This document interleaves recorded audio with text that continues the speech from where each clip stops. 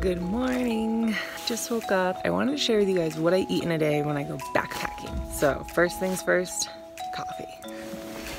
Get out of the tent.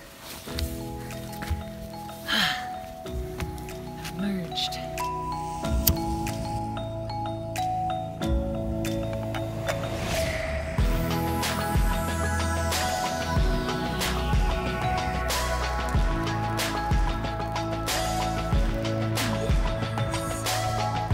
All right, so I'm just having some black coffee first thing in the morning in this amazing spot while I wait for the sun to catch up with me because it's a little chilly. the morning with my coffee is my favorite time of the day.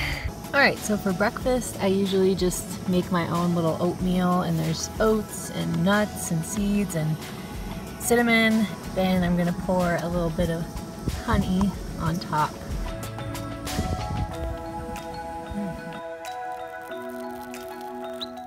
All right, so this is my breakfast pretty much every time I go backpacking. So now it's the afternoon and I'm gonna have a RX bar peanut butter berry one.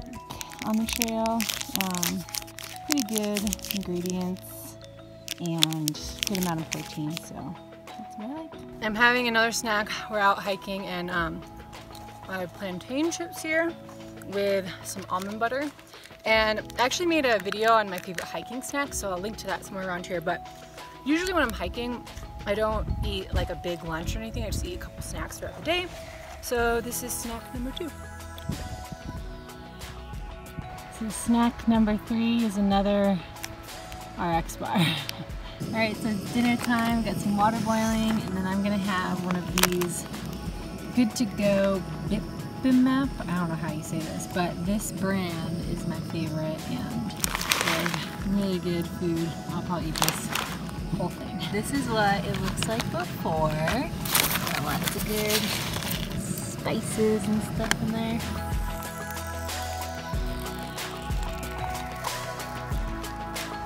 Alright, so it's been about 25 minutes and this is the final product.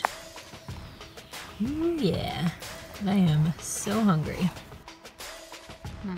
All right guys, so that is it. The sun is actually setting behind the mountains and I'm gonna have one of these little honey stingers for dessert and then hop in the tent. If you like this video, be sure to give it a thumbs up and comment below with some of your favorite hiking snacks and food that you eat when you're in the backcountry.